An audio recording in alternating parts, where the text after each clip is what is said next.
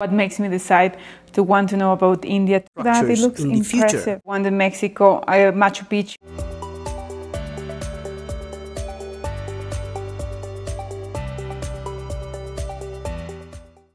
Namaste, welcome to my channel. Welcome to Thinking channel where we talk and react things related to India.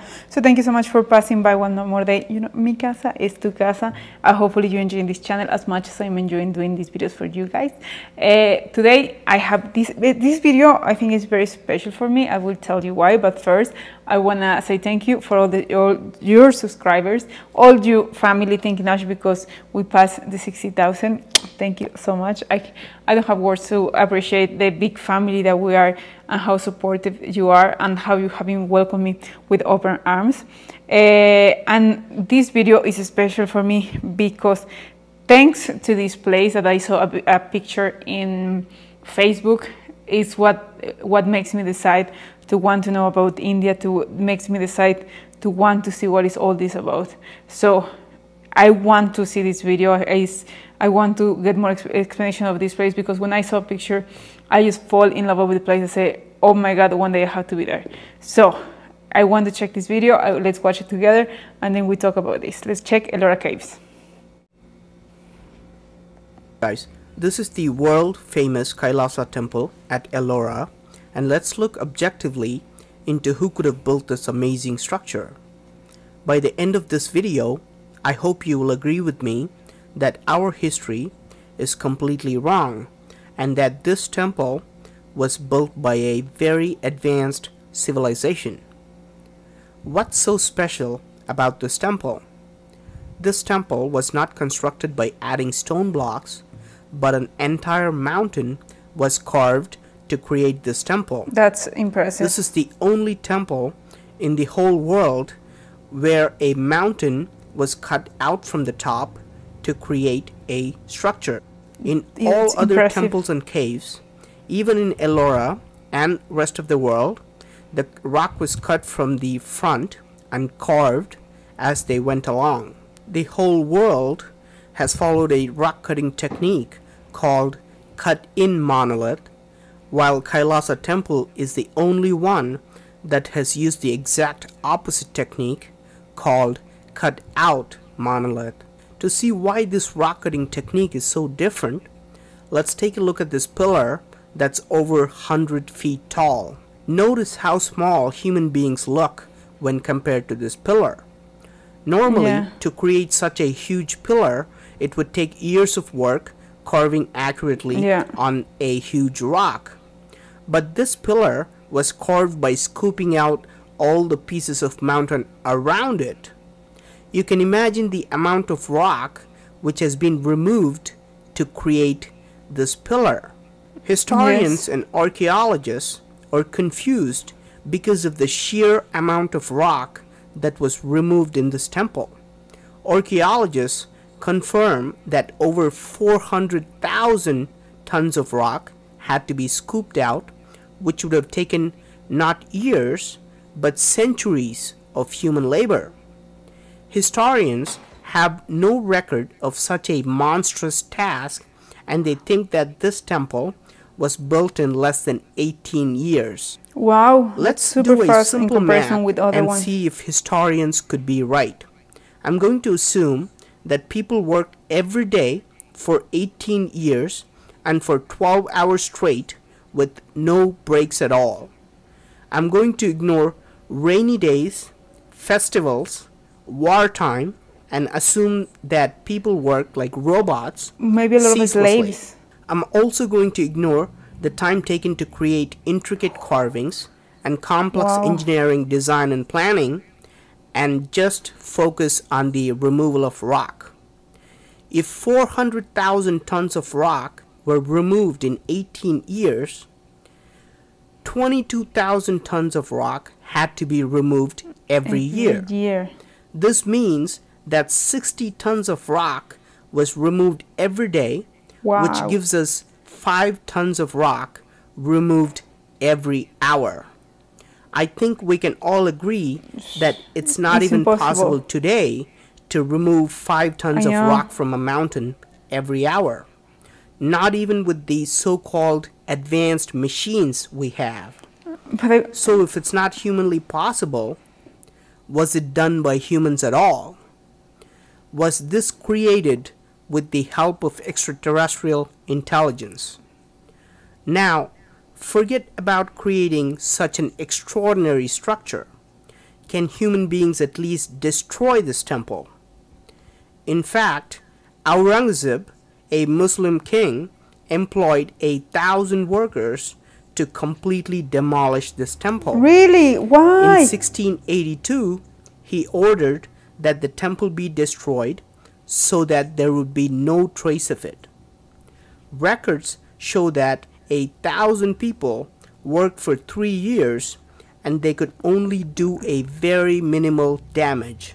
That's They could horrible. break and disfigure a few statues here and there, but they realized it's just not possible to completely destroy this temple.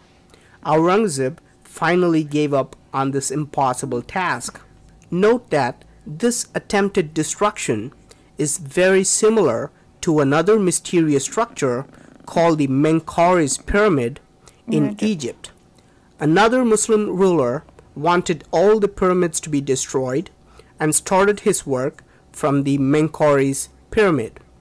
After years of trying, he was only able to make a small dent on the pyramid. He gave up too, where all these All indestructible structures Mexico! around the world created by extraterrestrials. Is that why human beings are not even able to destroy them? In fact, archaeologists agree that Kailasa temple was created before any other temple in the Ellora cave complex. Could this have been built centuries before human beings started carving other temples nearby? Is this why the architecture, the design, and the size That's is so much. It looks better so impressive. and bigger than other temples? If it was built by humans, it's logical to expect that the rock cutting techniques and design would become better over time. People would gain more experience and knowledge and make better Look at that. It structures in the future. However, the Kailasa temple is the oldest and the biggest temple carved with engineering perfection. Unlike other temples, the Kailasa is the only temple that's visible from the air.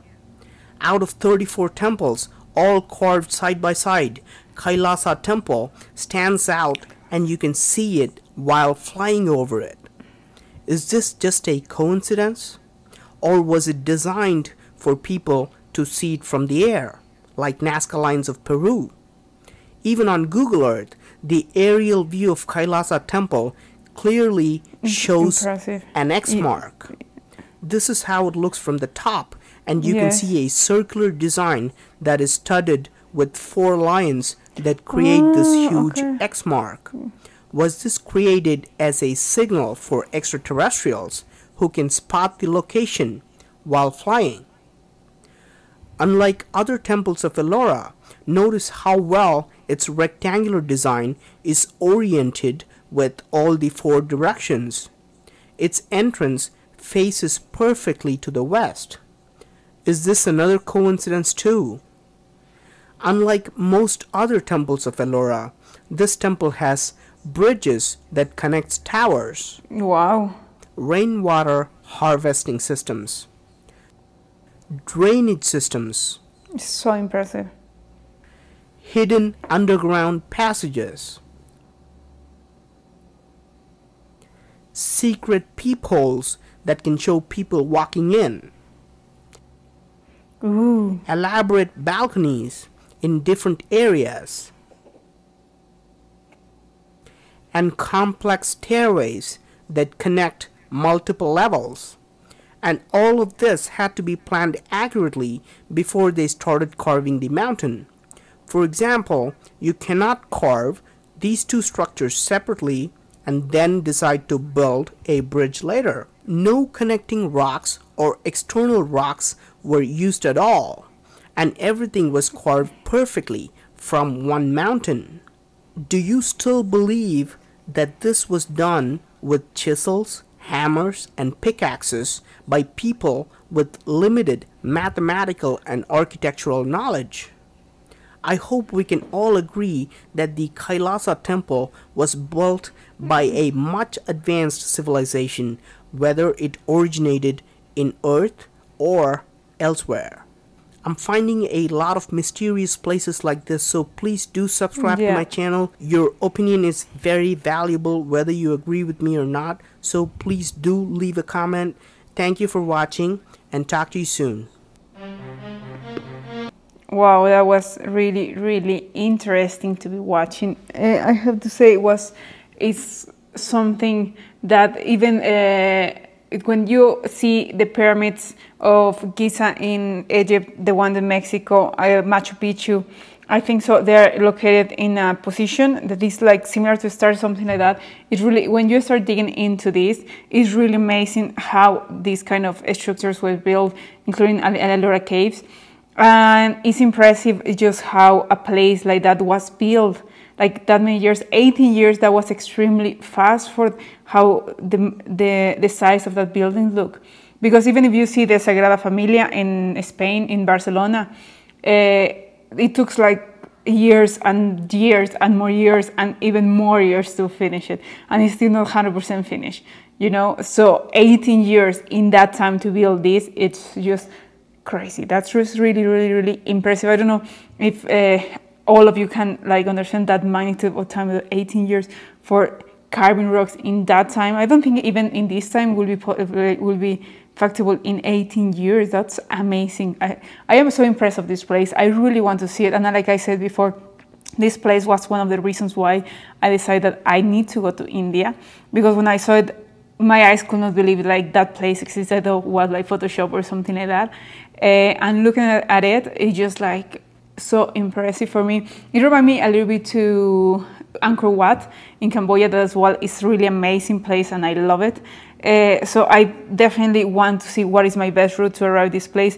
If you can tell me guys, I will be extremely grateful because I hear it's a little bit complicated. It's not really the easy way, like for example Taj Mahal, that you really is have to go for other ways. But if you can help me how to get there, I hear that the best way is going through Mumbai and from there start making your way. But if you know a quicker route or an easy way, just put leave it in the comments because like you know this place is one in my bucket list of definitely I have to go. You know because even Taj Mahal I saw it before and they say oh it's beautiful white big, but it, it never called me like Alora Caves. You know, Alora Caves for me, that's why it's so special. Thank you so much for, uh, guys for watching. Hopefully you can help me and see you tomorrow with another video. Have an amazing weekend.